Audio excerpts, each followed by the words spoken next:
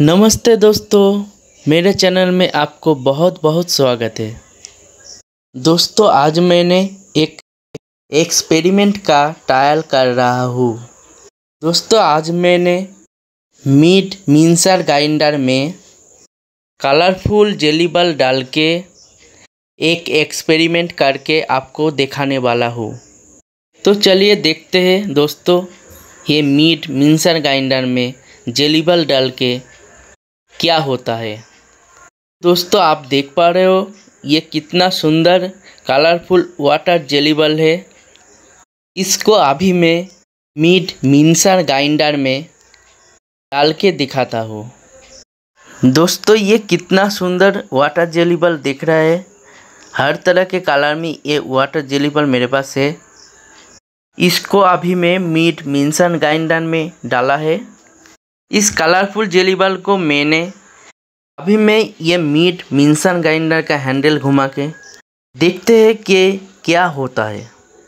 दोस्तों, फाइनली आप देख पा रहे हो, ये मीट मिंसन ग्राइंडर के होल से कितना सुंदर वाटर जेली बॉल पीस के निकल रहा है। दोस्तों, आप अगर ईट मीट मिंसर ग्राइंडर में मीट या दूसरा कोई भी चीज़ डालते हो तो ऐसे ही ये बाहर निकल आएगा। तो दोस्तों, आप लोगों को समझ में आ ही गया ये मीट मिंसन ग्राइंडर को कैसे इस्तेमाल करता है। दोस्तों, ये मीट मिंसन ग्राइंडर में एक कटर है, जो कोई भी चीज़ काट के इस मशीन से प्रेशर में बाहर निकल आता है। मीट मिंसन ग्राइंडर दो प्रकार के होता है एक है हैंडल वाला, दूसरा है ऑटोमेटिक मोटोराइज दोस्तों, आप देख पा रहे हो मेरे पास है मैनुअल मीट मिंसन ग्राइंडर तो दोस्तों, इस मीट मिंसन ग्राइंडर में मीट को देने के बाद ये हैंडल घुमा के आपको मीट को काटना पड़ेगा और इसमें आपको मेहनत करना पड़ेगा।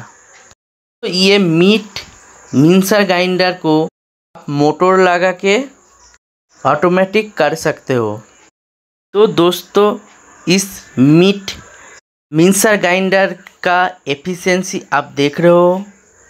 ये कितना सुंदर वाटर जेली बल को काट रहा है। दोस्तों, मैंने आपके सामने एक और कलसी ग्राइंडर आपको दिखाने वाला हूँ।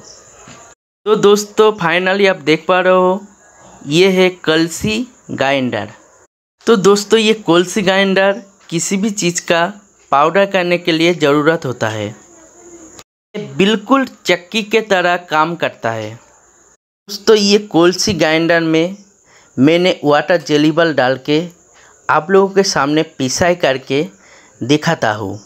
दोस्तों, इस कलसी ग्राइंडर में एक हैंडल लगा हुआ है। ये हैंडल को घुमा के कुछ भी चीज़ पीसना पड़ेगा। मैंने एक कलसी ग्राइंडर में वाटर जेली बल कर डाल रहा हूँ और आप लोगों को सामने वही सब कुछ दिखा रहा हूँ। इस कलसी ग्राइंडर में आप कुछ भी चीज़ डालोगे तो इसी तरह पीस के ये बाहर निकलेगा। जैसे कि ये जेली बल पीस के बाहर निकल रहा है। दोस्तों, जैसे कि आप देख पा रहे हो, मेरे पास जो भी वाटर जेली बल था वो, ये पूरी तरह पीस गया है और पीस के बाहर निकल आया है। तो दोस्तों, आज का वीडियो बस यही था। इसी प्रकार के वीडियो देखने के लिए मेरे चैनल को आप ज़रूर सब्सक्राइब कर देना, लाइक कर देना और शेयर करना बिल्कुल ना भूलें, क्योंकि इसी प्रकार के वीडियो में आपके लिए रोज़ाना लाते रहता हूँ। तब तक के लिए नमस्ते गुड बाय टेक केयर।